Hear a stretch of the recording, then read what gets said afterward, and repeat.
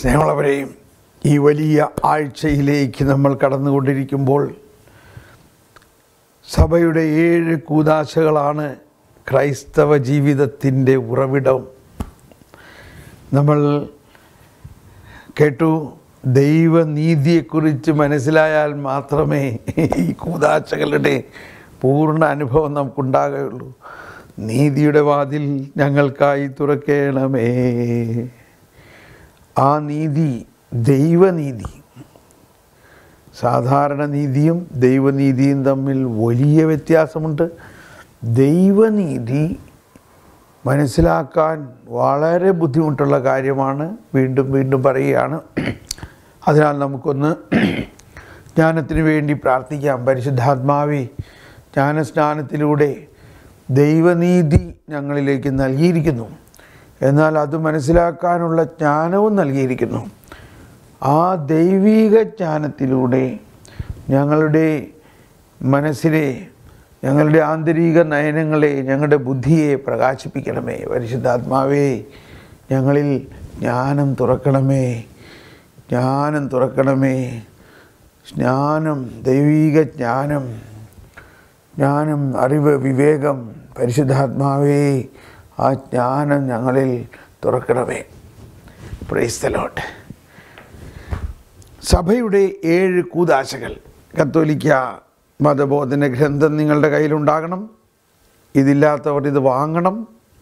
Bible പോലെ തന്നെ വളരെ പ്രാധാന്യമുള്ളതും കത്തോലിക്ക മതബോധനത്തിന്റെ രഹസ്യങ്ങൾ ഈശോ മുഖാമുഖം അപ്പസ്തോലന്മാർക്ക് പറഞ്ഞു കൊടുത്ത കാര്യങ്ങളാണ് പലതും. അത് ചിലപ്പോൾ ബൈബിളിൽ എഴുതിയിട്ട് തന്നെ ഉണ്ടാവില്ല.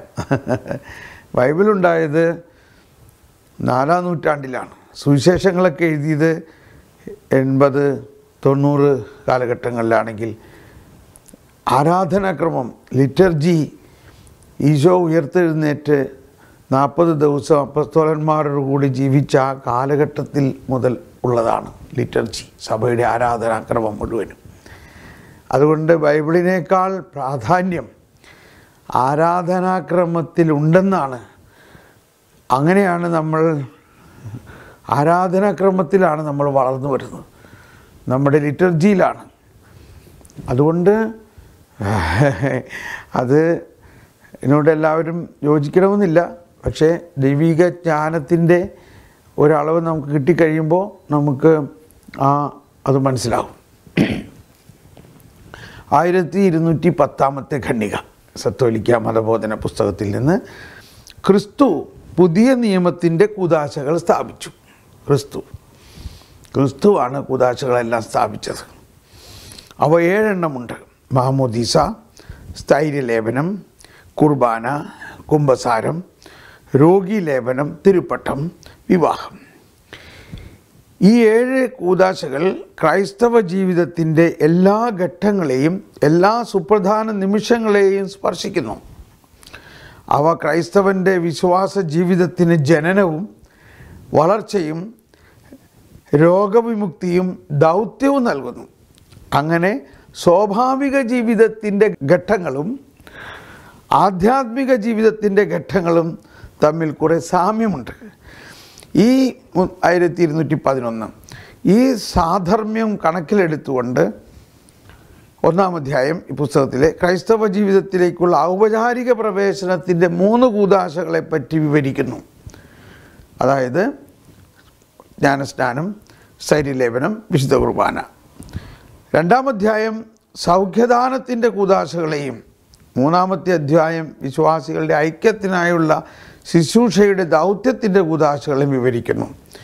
കൂതാശകളെ പരിഗണിക്കുന്നതിന് ഈ ക്രമം മാത്രമല്ല ഉള്ളതെങ്കിലും ഓരോ കൂതാശയിലും അതിന്റേതായ സജീവ സ്ഥാനമുള്ള ഒരു ജൈവ സമഗ്രതയ്ക്ക് കൂതാശകൾ രൂപം നൽകുന്നുവെന്ന് കാണിച്ചു തരാൻ ഈ ക്രമം സഹായകമാണ്. ഈ ജൈവ സമഗ്രതയിൽ വിശുദ്ധ കുർബാന കൂതാശകളുടെ കൂതാശ എന്ന നിലയിൽ അതുല്യമായ ഒരു സ്ഥാനം അലങ്കരിക്കുന്നു. മറ്റുള്ള എല്ലാ കൂതാശകളും അവയുടെ ലക്ഷ്യമായ കുർബാനയിലേക്ക് ഉന്മുഖമാക്കപ്പെട്ടവയാണ് എന്ന് കാണാവുന്നതാണ്. അതാണ്.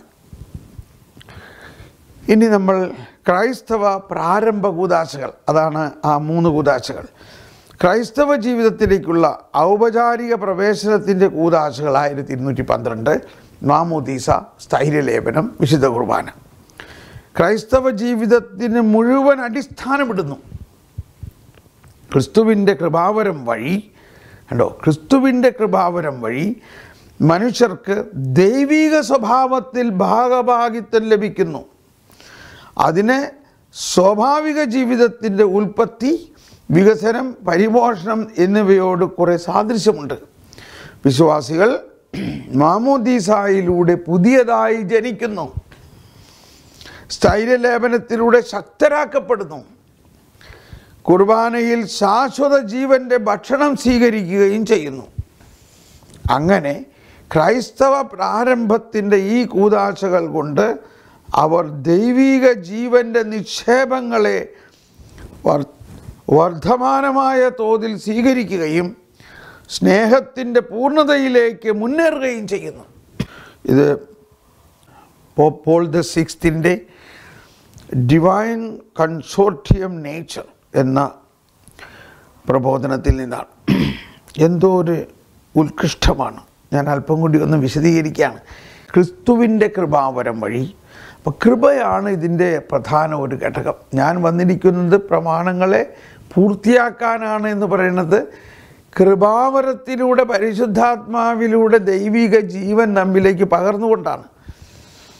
ക്രിസ്തുവിന്റെ കൃപാവരം വഴി മനുഷ്യർക്ക് ദൈവീക സ്വഭാവത്തിൽ ഭാഗഭാഗിത്വം ലഭിക്കുന്നു.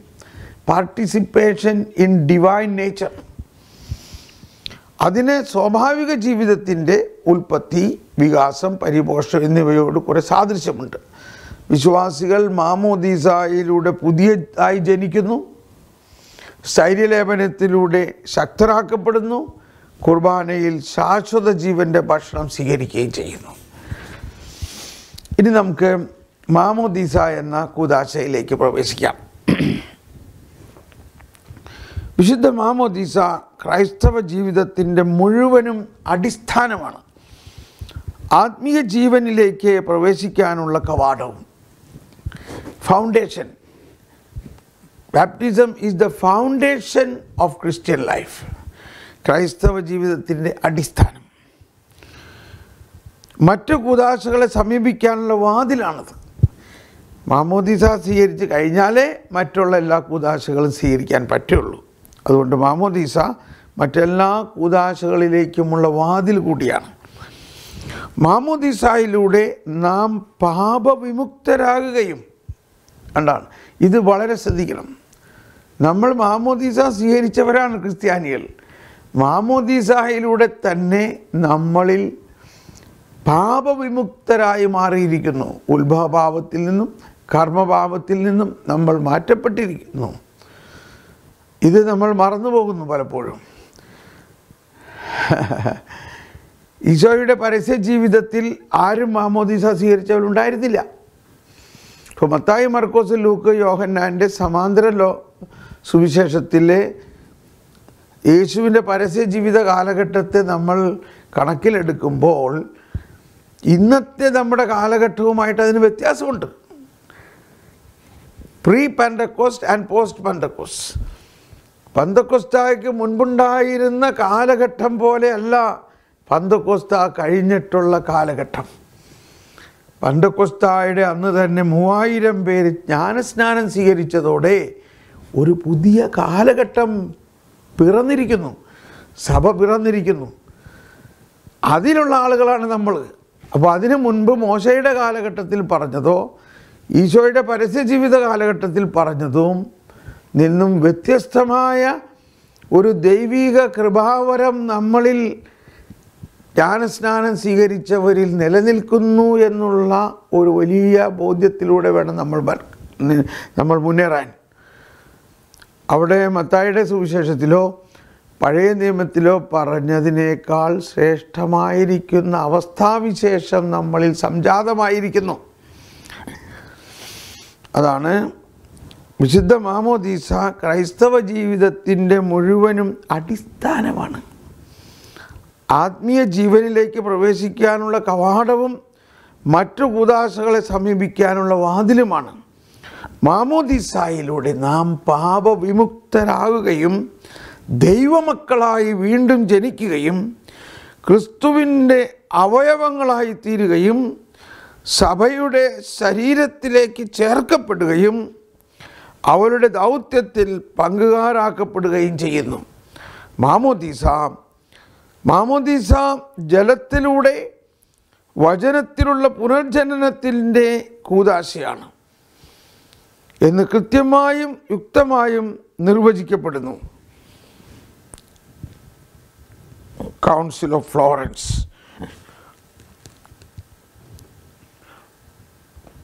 രണ്ട് കുറയും ദിവസം അഞ്ച് പതിനേഴിലെല്ലാം പറയുന്നത് മാമോദീസ ജലത്തിലൂടെ വചനത്തിലുള്ള പുനർജനനത്തിന്റെ കൂതാശയും മാമോദീസ ജല ജലത്തിലൂടെ വചനത്തിലുള്ള പുനർജനനത്തിന്റെ കൂതാശയാണ് എന്ന് കൃത്യമായും യുക്തമായും നിർവചിക്കപ്പെടുന്നു. ഇനി നമുക്ക് ഈ കൂതാശയെക്കുറിച്ച് അല്പം വിശദമായിട്ട് പഠിക്കാൻ പോവുകയാണ്. സാവധാനം നമുക്കൊന്ന് പ്രാർത്ഥിച്ച് അതിലേക്ക് പ്രവേശിക്കാം. പരിശുദ്ധാത്മാവേ ഹോ ജ്ഞാനസ്നാനത്തിലൂടെ ഞങ്ങളിൽ നൽകിയിരിക്കുന്ന ജ്ഞാനം തുറക്കണമേ. ജ്ഞാനസ്നാനത്തെക്കുറിച്ച് തന്നെയുള്ള രഹസ്യങ്ങൾ മനസ്സിലാക്കാൻ തക്ക വിധത്തിൽ ഞങ്ങളുടെ ഉൾക്കണ്ണുകളെ പ്രകാശിക്കണമേ. പ്രൈസ്തലോട്ട് അടുത്ത എപ്പിസോഡിൽ നമ്മൾക്ക് മാമോദിസായെക്കുറിച്ച് പഠിക്കാം. താങ്ക്